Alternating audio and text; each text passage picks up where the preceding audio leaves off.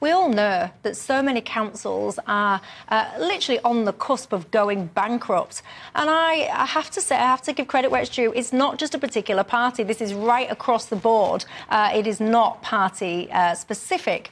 And obviously, there are many different reasons as to why that is happening. But it does not escape my notice, and perhaps yours too, that so many uh, times now, so many councils, they are absolutely raking it in in terms of how many fines and the breadth of fines that they are now issuing to you and I, the everyday people. So, for example, 60,000 uh, motorists are being hit by £12.50 ULEZ charges every single day. We've got councils wanting to hike parking fines by up to 25%.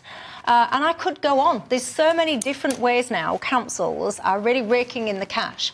And I feel a little bit like some kind of stealth ATM that's been expected to fund the mismanagement of incompetence, and I don't like it. Well, there's a couple of different things going on here, Michelle. I think you're absolutely right that there's been this whole approach of uh, taxing, surveillance, restricting. They talk about 15 minute cities in places like Oxford and Bath, uh, but actually, what it means is bollards and cameras. We don't have service provision. We can't even get to see a GP where they're there, let alone being in a new one in 15 minutes. If all this new public transport is going to be provided in areas where it's not there, and if these amazing infrastructure was there, that's one thing, but that isn't provided. What we've got, surveillance, taxes, more fines. In Haringey, over four months, two million in revenues. You've mentioned ULEZ. Up and down the country, we've seen in the Midlands, 50,000 people challenged the clean air zone and had their uh, challenges uh, upheld. But we've got a bigger problem, and that is that Britain has been sluggish for a long time. That's why Together Association, we've got a cabinet that we've launched to uh, drive certain areas where we have the economy, housing, innovation. We need to have a situation where we have a future orientated Britain, where we have coastal development, where we have investment, where we have infrastructure, build houses, create new jobs, retrain, let the zombie companies fail. None of this is being presented by the government or by the opposition. That's why we need to have a new manifesto, really, where the public is at the heart of things. Core, do you trust the public to be making the key decisions, driving the future of this uh, country? Is that what we need? More public involvement? I think I always trust the public because we're the public and we're paying for it, and that's especially true of local authorities. Um, I dis disagree with an awful lot of what Alan said, but I want to come back to the stories that you highlighted because they are grimly fascinating, really. You know, I, We've got several local authorities. I think the biggest one is in Birmingham in trouble. Um, their equal pay claims, it's one to two billion pounds in Birmingham. But I was very interested in the media coverage. So this is a credit agency, Moody's, um, flagging a concern about council resources, and it's not very good for David Cameron his premiership when you look back at it. Years of austerity, so local government uh, funding cuts of 40 to 60 percent and then David Cameron's government scrapping the Audit Commission, which was a statutory body that looked at local government finances. So it's a non vindication of David Cameron. I've got a lot of sympathy for local authorities, whatever their political stripe, because I think they're having to make deeply difficult decisions about how you keep public services going. And yes, that's why they are trying to eke out, you know, revenue from uh, buying parking permits and uh, so on and so on. Do you think there's uh, a few too many incompetent people in local government? Well, I'm always wary of generalisations, but I think every single part of the British state could perform better than it does. And that takes nothing away from their hard work.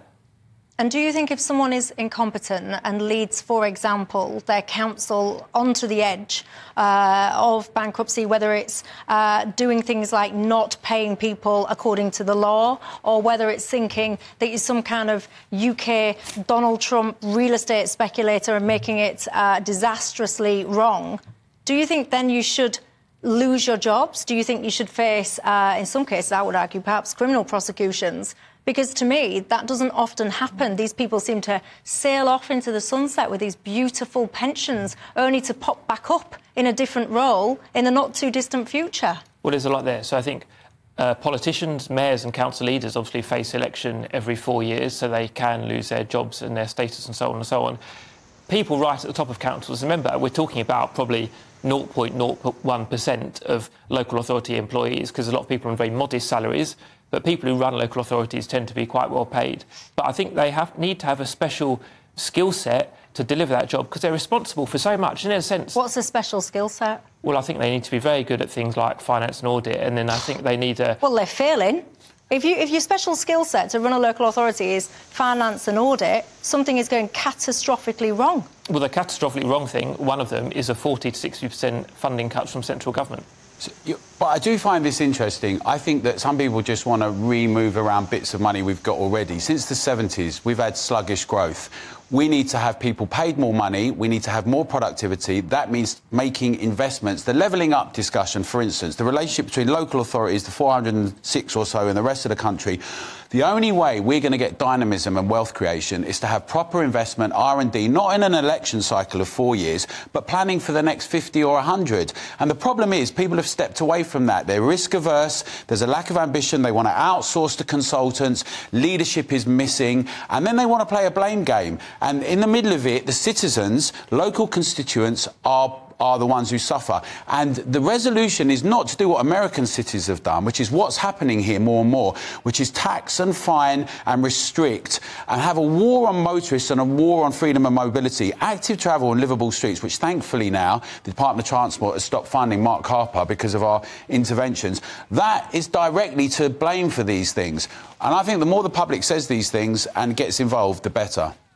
Well, you are the public uh, home. Do you think that you want, well, do you want more uh, involved? What would that look like? Do you want a series of yeah. referenda? well, I think, well, referendums are always a good thing, but I think that what we need to have is what the public needs and a discussion and a debate openly. We've not had that. We've not had that about many things. Even when we do have What consult- does that look like? What, well, what that looks like is in every area, in innovation, in housing, in the economy, is what are the needs of the public, first and foremost, in the yeah, NHS? How, that's all well, is it, so, how do you ascertain all Well, in each area, you have to present that and you have to discuss it. So, if you if you think the role of the NHS is to have an ideological, really really uh, big bureaucracy and you don't have efficiency in delivery, then carry on with the model we've got. If we think it should be about expediting service to people quickly, and you can do that in a range of ways, like they do in Germany or other countries, for instance, then that's what should be put on the map.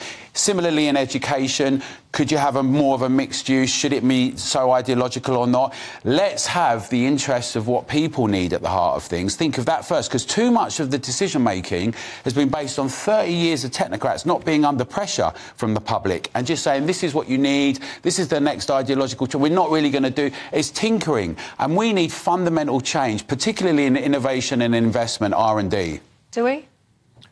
I think we all want better R&D. The question is how you get there, because um, to my mind, too much of what Alan said was either a generalisation or wrong. To take one example, referenda. Referenda are not that popular. There is not a public demand to have more referenda, even on a local level. To give another idea, the suggestion that um, we take things out of the political cycle.